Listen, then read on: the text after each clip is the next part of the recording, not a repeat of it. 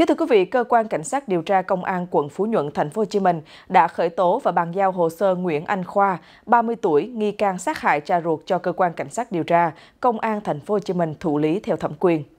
Qua khai thác, công an xác định nguyên nhân Khoa giết chết cha ruột là vì tiền. Theo điều tra ban đầu, trong thời gian sống chung nhà với cha là ông NVB, 72 tuổi tại căn nhà trong hẻm 86 đường Thích Quảng Đức, phường 5, quận Phú Nhuận, hai cha con thường phát sinh mâu thuẫn. Hôm 27 tháng 5, Khoa xin tiền nhưng ông B không cho, sau đó xảy ra cãi vã và Khoa bắt đầu giam lỏng cho mình trong nhà và đánh đập. Ngày 3 tháng 6 thấy ông B kiệt sức nên Khoa nấu cháo cho ăn.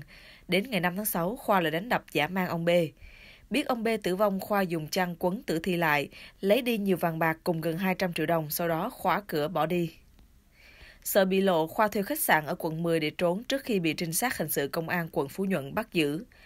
Kết quả xét nghiệm xác định Khoa dương tính với ma túy, Khoa cũng thừa nhận nghiện cỏ Mỹ nặng. Như PLO đã thông tin, ngày 7 tháng 6, công an nhận được tin báo nghi ngờ ông B chết tại nhà nên đến kiểm tra. Công an phá khóa vào trong thì phát hiện ông B đã chết với nhiều vết thương. Công an quận Phú Nhuận phối hợp cùng với các đơn vị nghiệp vụ công an thành phố Hồ Chí Minh nhanh chóng vào cuộc điều tra truy bắt nghi phạm.